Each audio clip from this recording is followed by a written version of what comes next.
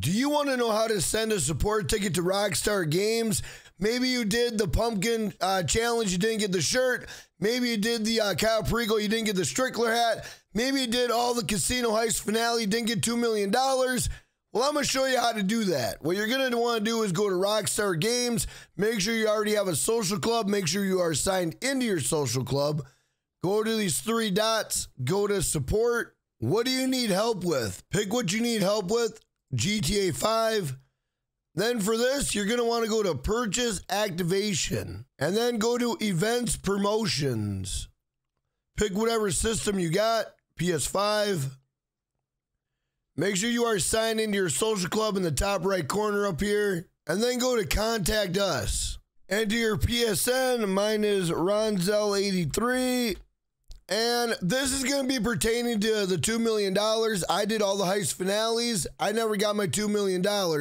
So this is what I would type if I were you. Change it around. You know, if you didn't get the Strickler hat, change around a couple words, put the Strickler hat in. If you didn't get the pumpkin shirt, change around a couple words, put the pumpkin shirt in. But this is what I would write. All right, so what I put was to whom it may concern when Rockstar Games was running the $2 million challenge for completing all heist finales I did them and never received my money from Rockstar Games in GTA 5 Online.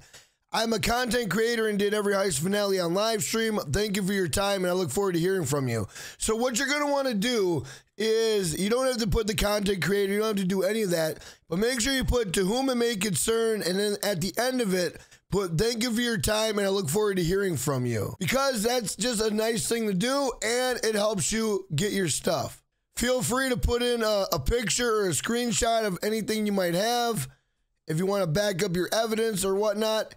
And then down here, you can submit a chat ticket. I normally don't do that. I do email ticket because I don't really think they're going to get back to you in one minute.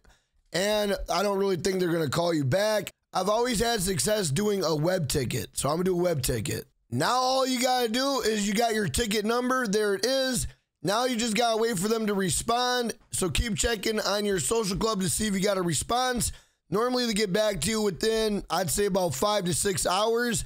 And chances are they're going to give you what you put your request ticket in for. Jackknife Finnegan, subscribe, like, and comment for more GTA 5 online content.